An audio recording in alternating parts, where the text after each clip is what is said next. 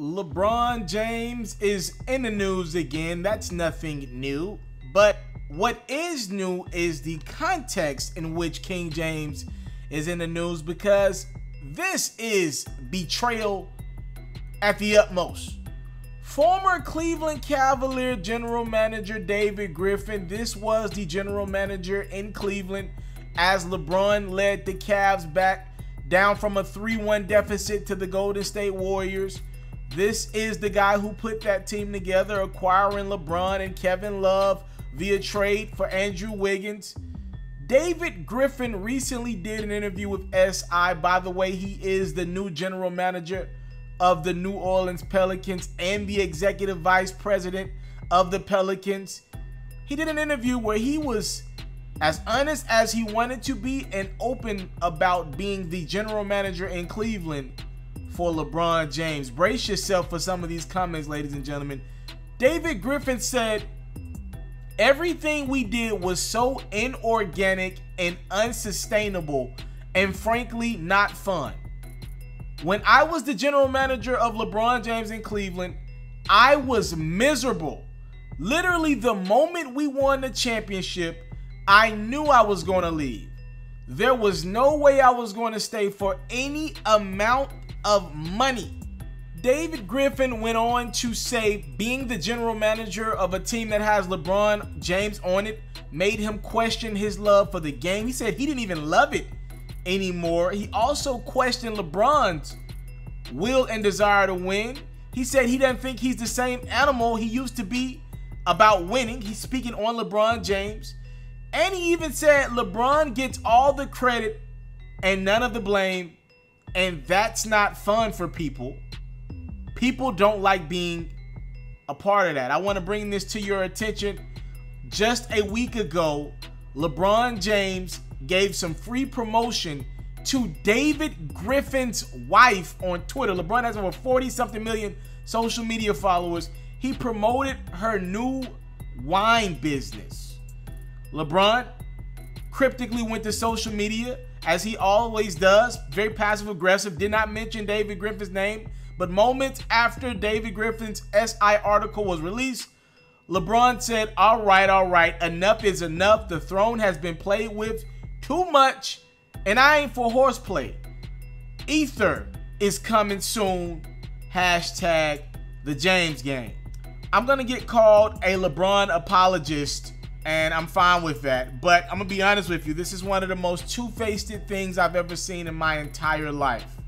First and foremost, David Griffin's entire career is based off winning one championship that LeBron James delivered.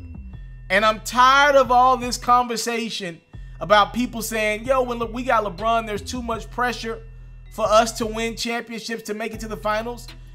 It should be like that for everyone on every team.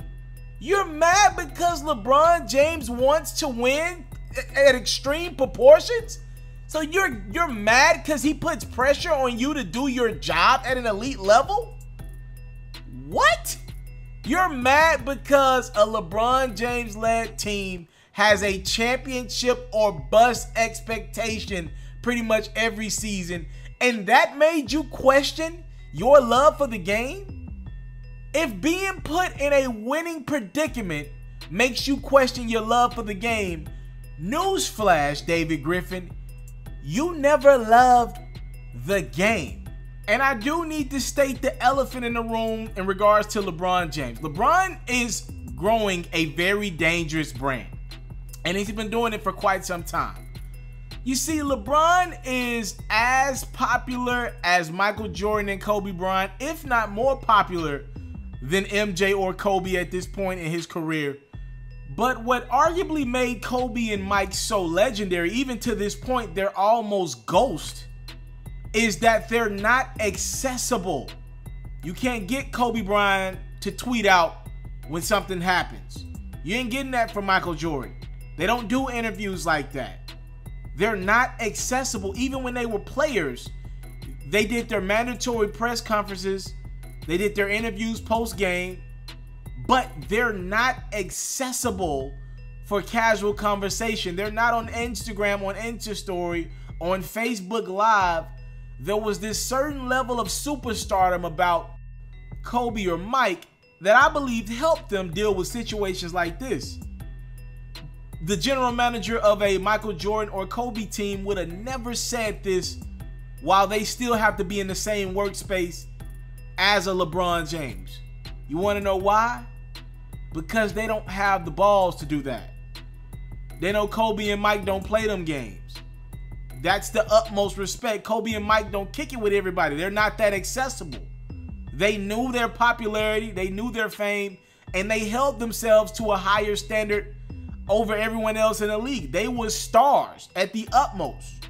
LeBron is a star at the utmost, but he still kicks it like just one of the guys. Newsflash, nothing about you, LeBron James, is one of the guys. And furthermore, LeBron, you got to stop being the better person in all these situations. You got to stop taking the high road and being passive aggressive with your tweets. This is not the time for LeBron to be passive aggressive. That man disrespected you. That man pretty much belittled your name, your brand. He said it's miserable to play with you. This comes just a little less than a year after Kevin Durant, one of the best players in the world, one of your quote unquote friends said it's toxic to play with LeBron James.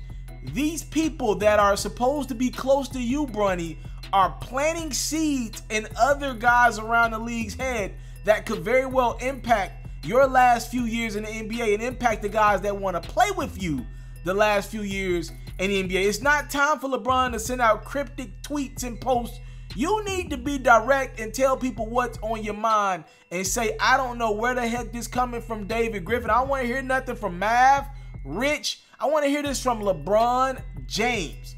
This man is a general manager that you went to war for. The day David Griffin officially left the Cleveland Cavaliers, LeBron tweeted out his love and respect for Griff. And the fact that this guy, out of all people, said it's miserable to play with the LeBron James, it tells you all you need to know about the NBA and sports in general. It's a business at the end of the day. There's no such thing as friendships. You're only my friend when you can do for me in that moment. I thank you guys so much for the time, loves put. I don't take it for granted. What do you think about David Griffin's comments on LeBron James? I'm out.